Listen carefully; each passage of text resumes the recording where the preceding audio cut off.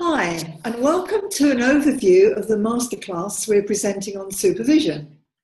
You're invited to join us in working with two processes to use in conversations as we bring the organisational focus into supervision. One is a way of being that we can adopt as a supervisor and supervisee.